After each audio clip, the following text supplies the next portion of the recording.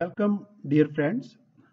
This is a question from board exam CBSE Delhi Circle 2013. Question is from electrostatics. Question goes like this.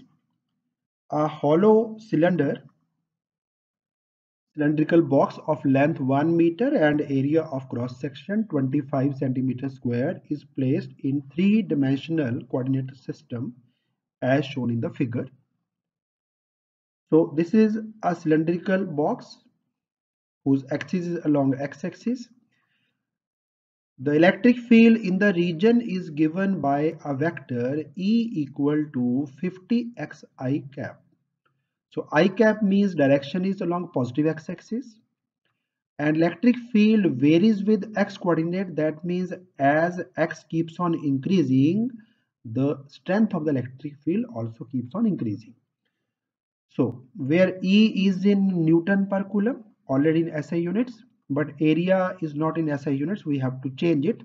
So first most job in solving a numerical is to change the units where X is in meter. So find number one net flux through the cylinder number two charge enclosed by the cylinder.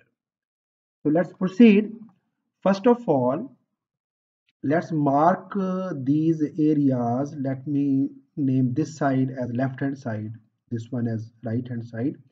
The area vector uh, of plane part flat part of the cylinder is along negative x-axis as area points uh, away from the volume of the given Gaussian surface. So SL would point along negative x-axis area in size would be 25 centimetre square को change करना है into metre square so you will have to divide by 10000 same way on the right hand side area would be pointing towards positive x axis area of course is same and electric field as is uh, given in the question electric field is along positive x axis i cap so it is along positive x axis here and it is along positive x-axis here too. But as x keeps on increasing strength of electric field would keep on increasing. That means this electric field e left is lesser as x coordinate is smaller whereas e on at right hand side would be larger. So let's go let's go for solving for electric flux.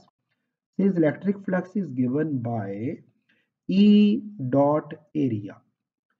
So curved surface if I draw any surface area over here like you have gone through a derivation electric field due to a uniformly charged line the direction of electric field was away from the charge in that case. So we have drawn an area here curved surface area small area here that was pointing uh, along positive y-axis. Since electric field is along x-axis area is pointing along y-axis angle between E and ds would be 90 degree. So electric flux would be zero through the curved surface area of the cylinder everywhere. So now we are left with flat surfaces left one and right one only. So flux on left hand side would be electric field is pointing along positive x-axis 50 into x coordinate 1 into i cap. It is to be dotted with area Area in magnitude is 25 divided by 10,000 gives 0.0025. Direction is along negative x-axis hence minus i cap. i cap dotted with i cap is 1 and rest we are left with 50 into 0.025 into minus 1 that is equal to minus 0.125 volt meter. Now let us come to right hand side. On right hand side E and area vector both are pointing in the same direction so you may directly write 50 into x coordinate 1 plus 1 equal to 2 meter. So x equal to 2 meter i cap. Area vector magnitude is same but direction is long positive x-axis. So i cap. i cap dot i cap is 1. So answer would be exactly double of this but there is no negative sign this time. That means answer is going to be positive. Simply add these two, you would get the net, net flux. So first part is over. Net electric flux through the cylinder is 0.125 volt meter. let's come to second part second part is what is the charge enclosed by the cylinder so according to Gauss's theorem I have written in short according to Gauss's theorem net flux equals charge enclosed by epsilon naught but charge enclosed is 0.125 so multiply this side with epsilon naught value of epsilon naught would be given in the question paper. If you are able to mug it up then better. Otherwise copy it from the question paper. 8.854 into 10 power minus 12 and on removing this decimal I'll get 1000 below in the denominator. 125 cancels with 1000 as 8 so 1 by 8 of 8.54 into 10 power minus 12 coulomb is the charge enclosed now there is an exercise based on a similar type of question which we have got in year 2019 that is supplementary exam 16 July 2019 so just go through it.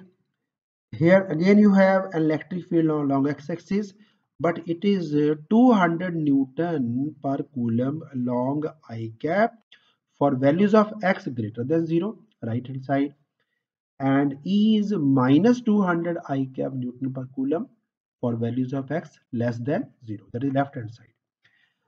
Again a right circular cylinder of length 30 centimeter length is 30 and radius 5 centimeter radius is 5 centimeter that means area is again 25 centimeter square lies parallel to x-axis similar situation just this cylinder is to be shifted so that the center of the cylinder lies at the origin.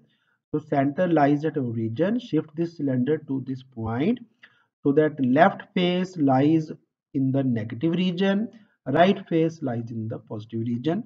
And uh, I hope you would be able to solve it further. And the answer is already given 3.14 voltmeter. If you are able to do it yourself, that means I have succeeded in my mission. So if you have understood completely, please do like the video share with other others and subscribe the channel for further updates. Thank you for watching